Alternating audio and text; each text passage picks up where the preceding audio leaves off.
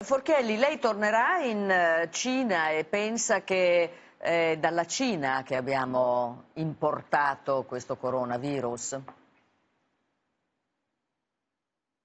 Sì, ma di fatti eh, non è un cigno nero tecnicamente parlando, perché è la terza epidemia nel giro di vent'anni, ci fu l'aviaria nel 99, la SARS credo nel 2003 e poi questa, tutto è dovuto a questo rapporto di vicinanza tra animali e persone.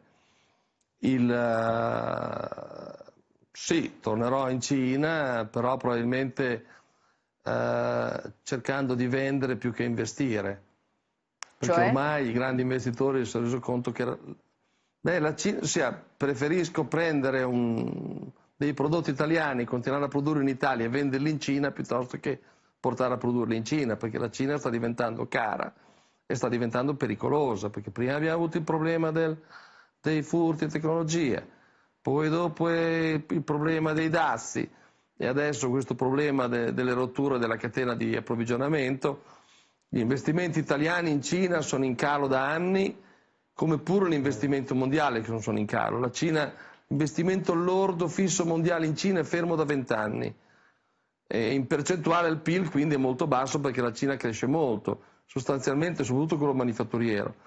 C'è una percezione di questo rischio per cui la gente cercherà di andare in Cina strettamente a produrre quello che serve al mercato cinese, ma non per produrre cose che, da, che devono essere poi riesportate. Quindi scusi, questo... Perché l'inserimento in questa catena di... di...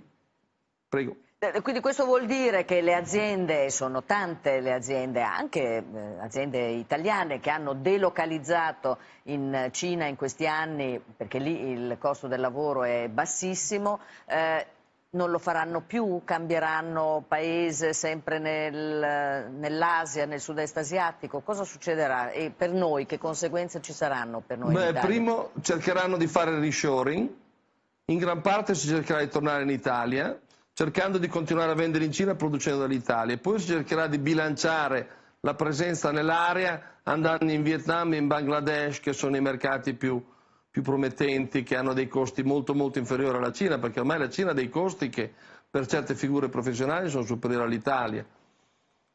Però adesso se mi dice vent'anni fa uno andava in Cina e ti dicevano guarda fai della roba bellissima dieci anni fa, però costa troppo, la devi produrre qui e quindi uno era obbligato per andare sul mercato a investire.